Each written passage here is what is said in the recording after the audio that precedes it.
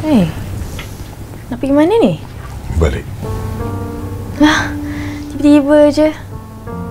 Awak ada masalah dengan family saya ke? Tak ada. Habis tu, Mak. Mak dia cakap apa-apa kat awak ke? Awak, kalau pasal mak tu janganlah ambil hati. Mulut mak tu memang macam tu. Saya yang anak dia ni pun kadang-kadang tak faham. Along jumpa saya ke? Datang pun kau.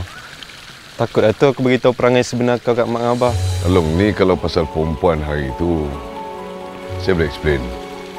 Pasal perempuan hari tu je. Pasal perempuan-perempuan lain? Eh, silap-silap bisnes kau kat KL tu, semua perempuan yang fun kan? Long, kalau benda ni semua datang daripada Kasyaf, rasanya tak perlu dengar aku cakap orang-orang macam tu. Habis tu aku nak percaya cakap siapa? Ha? Percaya cakap Zara? Percaya cakap mak abah? Diorang tu lagi tak kenal kau tau. Ni aku nak tanya. Aku nak kau jujur dengan aku, apa tujuan kau nikah dengan Zara?